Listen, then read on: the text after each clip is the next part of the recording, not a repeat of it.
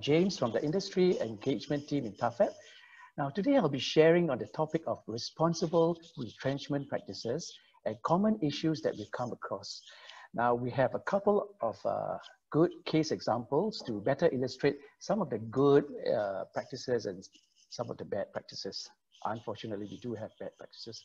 Right. Now, over the past uh, few months, we have received a lot of uh, feedback from employees who were retrenched during this uh, COVID period, especially on how the retrenchment exercise was managed and executed. Now, as we speak to employers who are struggling to survive, now we also realize the impact of COVID on businesses and how this pandemic will have a lasting effect on many companies, even after a year or so. So as uh, businesses adjust themselves to the unsettling economic landscape, managing cost and excess manpower are top of the management's minds to help the business stay afloat for the next few months or maybe into the next year, right? So we'd like to urge employers to take a longer term view and consider government support and other cost saving measures first before you start to cut staff, you know, reduce staff as a quick and short term solution. Now remember, retrenchment is not just a one day affair, right? There's a huge impact on many levels uh, such as, for example, um, the affected employees and their families. Now, what will happen to them financially, emotionally, and their ability to return to the workforce? And then there's also the morale of your existing employees, right? And ultimately, how the company can fully recover from this crisis and thrive in the new normal. Now, um, there are many considerations uh, before and after a retrenchment. For example, um, how do you balance between cost saving measures and retrenchment? How do you find competent people when the upturn returns? Um, when do you start reskilling to avoid the next round of retrenchments? And how do you look after employee well-being during and especially after a retrenchment. So um, there's a lot uh, more to be mindful of. And at the end of the day, our question to you is, ask yourself, right? If retrenchment is indeed the last resort, how can we manage it responsibly and allow employees to leave with dignity, right? Leave with dignity, remember that. Now, in our engagement with employers and employees on retrenchment exercises, um, we found, found out a lot that actually communication is always the biggest cause of complaints other than retrenchment benefits, right? Uh, we noted that most employees are aware of the business situation in the company. Uh, they do understand why the company had uh, to make this decision to retrench. However, what they expect, they expect the company to take a more compassionate and sensitive approach in this retrenchment exercise. Right? Once again, we're talking about compassionate and sensitive approach. So employers must, should have a more thoughtful and thorough planning process to include all these insights. Now, there are two tripartite advisories that you can take guidance from. Uh, the main one, the first one is the tripartite advisory on managing excess manpower and responsible retrenchment. Okay, it's T-A-M-E-M, so we'll just call it TAMEM, right? TAMEM for short. Now, the other one is a tripartite advisory on retrenchment benefits, which was released on 20th of May this year, with reference to business difficulties due to COVID-19. Uh, for simplicity, we'll just call this the COVID-19 RB advisory. Okay. So for some of you, you may not be too familiar with the TAMEM. So I'll just go through this TAMEM and uh, pick up the main points in the next two slides. So before thinking about uh, retrenchment, uh, companies are advised to look at alternatives to keep your employees, uh, such as like adopting cost saving measures.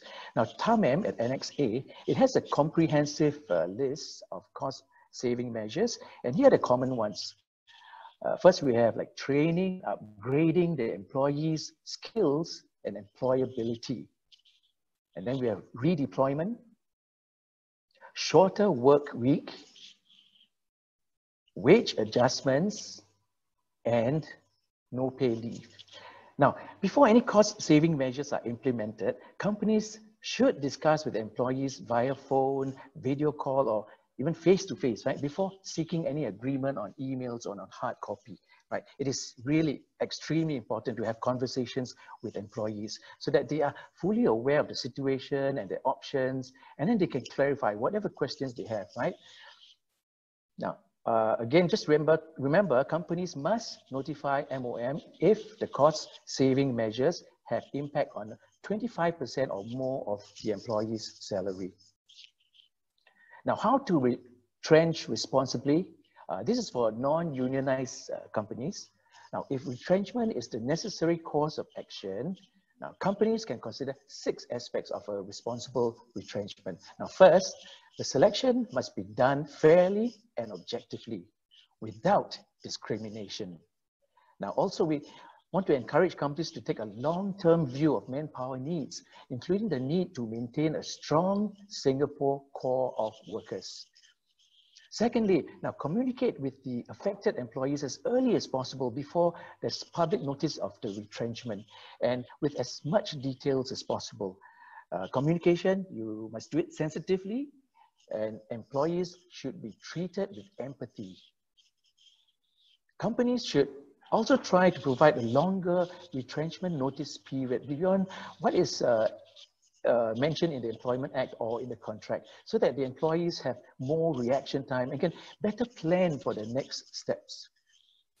Companies should try to provide uh, retrenchment benefits or RB in line with the advisories, TAMEM, right? Just now I mentioned TAMEM. So we are talking here about two weeks to one month of salary per year of service as per TAMEM, or in the other advisory, it's one to three months of ex gratia payment as per the latest advisory on RB. Uh, next, we also encourage companies to assist employees with alternative jobs. Now, the easiest way is to actually work with agencies. There are agencies out there that can help you, WSG, uh, NTUC's um, E2I, uh, UPME Center, they're all very willing to help you and your employees, right, to look for alternative jobs. Now, most importantly, now be reminded to file the notification with MOM so that also these uh, relevant agencies can be notified and assist in providing the alternative uh, employment opportunities. Now, what happens if you are a unionized company? You just need to consult your union as early as possible, uh, seek advice on the retrenchment quantum, selection of employees, and employment facilitation. Now, um, arising from the six areas of responsible retrenchment, uh, we would like to share some common complaints and learning points. Right? First of all, uh, we cannot emphasize enough that retrenchment notification to MOM has to be early so that uh, we can give timely employment assistance to the affected employees. Right now, do remember if there's late or non-notification, there could be administrative penalties from MOM. So you really want to avoid that. Right. So um, when do you notify MOM? Right, within five working days after affected employees are notified right? Five working days. But this is applicable to companies with at least 10 employees and where there are five affected employees notified within any six month period. So don't forget, notify MOM. Right, we've also uh, come across cases where the employer was not able to explain clearly to retrenched employees as to why they were selected. Now, likely this was because the selection criteria was not objective. Now, the issue with this is that aggrieved employees may complain to MOM or TAFEP for being targeted unfairly in the retrenchment exercise. So our advice to all employers is to ensure that there is an objective selection criteria and there is clear communication to all staff on this. Right. This is similar to another issue on performance appraisal. We go on to the next slide to be clearer. Right. So some companies, they do have uh, performance as one of the criteria.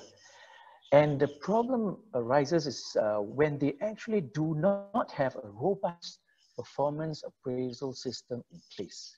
Now, as you all know, everyone wants to be a nice guy, right? So the supervisor grades everyone is okay, can do, satisfactory performance. So what happens? The employees really do not receive a true constructive uh, feedback on how they are doing in their work and where they need to improve on. So as a result, when they are retrenched, the employees direct their focus on other possible reasons for their retrenchment, such as discrimination or bias towards them based on their age, race, or gender, right? So the learning point here is that all companies, you really need to have a proper performance management system and to provide regular feedback to employees. Now, even so, with or without retrenchment, uh, this system should already be in place, right? Everyone knows that, right? Uh, all employees need to be informed regularly, constantly of how they are doing in their work and where are the areas they need to uh, improve on. Now, another complaint um, from employees is that they receive the news of their retrenchment at late notice and they are caught off guard. Now, leaving them in shock you know, as they're asked to pack their belongings and go, uh, exit through that door, that's it. Now, we really want to encourage companies to communicate as early as possible, right? Even before the issuance of the letter, the, retrenchment letter, and to adopt a longer retrenchment notice period. Now, preferably also on the employee's last day. Now, ensure that all uh, the salaries and retrenchment benefits are paid to them. Now, communications to employees. On communications, um, one typical complaint is uh, the phrasing of the retrenchment letter. Now, some companies uh, word it as a letter of termination. Now, this word termination hints on poor performance, right? So you get employees who are very upset, you know, that there's this mention of this word termination, termination of employment services, you know, as they're afraid that it's going to impact on them negatively on their next employment search. So our advice to companies is to accurately reflect retrenchment in the letter, right, with well-explained reasons, right? If, remember, if the job role has become redundant, it is a retrenchment, right? Call it a retrenchment in the letter, it is a retrenchment, right? So this avoids unnecessary grievance from the employee. Now, lack of employment assistance. Uh, when we speak to employees, we realize that many times companies do not seem to be providing them with alternative employment assistance, right? They're just given the letter and that's it out the door. But please do contact WSG and uh, E2I to help connect these agencies with your employees. Your employees would really appreciate that seriously. Now, these agencies are very willing to provide support in job coaching, counseling, and placement, etc. Right. So also it would be uh, very helpful if the HR could prepare uh, all the relevant documents such as testimonials to support them in their search for their next job uh, instead of you know, waiting for the employees to come back to the company, make a phone call to the company and come back another day to request for them. So give them all this, right? On when you're, you're retrenching employees on the last day, make sure everything is prepared for them. Right, another issue is uh, on uh, retrenchment benefits where some companies do not provide due to uh, reasons such as uh, financial difficulties. Now, well, uh, some companies do pay uh, RB. Uh, they do not uh, ensure that there's parity across different batches of employees or different branches or outlets. And this is an issue with employees. We've seen uh, companies giving different amounts of RB for different batches. Right, and it's going to lead to a lot of more a lot of issues with your employees. Right, so our advice is for companies to be consistent with your RB quantum and be aligned with the advisories I mentioned, the TAMEM or the COVID-19 RB advisory. So if you are not able to provide RB according to TAMEM, please do explain to the employees and seek their understanding, right? Just go a little bit small, a little bit more and then just explain to them. They would understand, I'm sure. Now, okay, now uh, that's, uh, now we come to a stage whereby I'll show you some examples whereby uh, companies have had some gaps in retrenchment practices. And there'll be three examples. And finally, a fourth example of a good example of a company with good practices. Now, first case is a company in the financial industry. Now, the retrenched employee was a group audit partner who served the company for about 12 years and was uh, retrenched as the company was going through its restructuring and consolidation. Now, so his audit role, uh, being a regional role, was moved to regional HQ as a measure of cost prudence. Now, the company offered him a transfer to the regional HQ, but he was not able to accept it. Now, in his uh, feedback to TAFEP, he said that the company could have done more to find him other roles instead of just retrenching him. But actually, unknown to him, the company was actually doing something. You know, they were actually trying their best to redeploy him. But he didn't know that. So the company initially did not provide RB, uh, but the employee requested for it uh, with the company and received 1.5 weeks per year of service, which is um, actually below the TAMEM, right? Uh, but the company justified to him that it's just part of cost prudence and all that. So this person came to TAFEP and what happened was that TAFEP engaged the employer and found that the company could have been more transparent with the employee on the plans, the effort taken that they had made to try to redeploy him, right? So misunderstandings could have been avoided, right? Now we advised the company that the comms could have been done better with more empathy. Now instead of just treating it as a procedural exercise, right? Empathy is the word. Now, company cited cost prudence as a reason for retrenchment and why it was not able to pay RB as per the TAMEM. But however, when our officer reviewed the company's financial situation, now it was found that the company actually could afford, they could afford to pay as per TAMEM uh, two weeks of, uh, per years of service. Right, so as a result, uh, TAFEP advised the company to follow TAMEM closely and pay the shortfall in the RB and so the final amount was increased from 1.5 weeks to two weeks per year of service. Now, company also acknowledged that um, the feedback on communications uh, and assured that they would uh, improve on this area. So this case reminds us that we really need to be mindful uh, that there has to be uh, transparency and communications as we plan for the retrenchment exercise. Now, I have a second example here of a company in the retail industry. Uh, well, I'd like to play a little game here, invite you to guess if this is a termination or a retrenchment case, right? Make a guess. Right? Now, this assistant store manager worked in the company for 10 years and was terminated with a salary in lieu of notice uh, because his job scope had been expanded and the company deemed that he was incompetent and unsuitable for this new expanded job scope. Now, the expanded job scope uh, included, you know, sales management and supervision of the managers, but they deemed that he was not suitable. Now, this employee requested to try out this new expanded role, but unfortunately he was rejected. Now, he was also not given the opportunity to be trained for this new role. Now, instead, the role was actually given to another colleague who was deemed to be more competent than him. Now, the original job scope had changed. The employee was not able to continue with the same position. Now, hence, is this a termination? No, it was a retrenchment instead of termination, right? So the company could have also looked into other areas to fit him in instead of just letting him go. Now, the company could have provided training to help the employee pick up skills and build new capabilities for the new job. Uh, they could have planned and offered guidance and assurance to help the employee to welcome the changes and transit into the new role.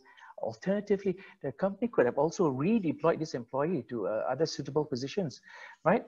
So um, as we assess this to be a retrenchment, we uh, asked the company then to provide uh, retrenchment benefits as per the TAMEM and to help the employee uh, with employment assistance.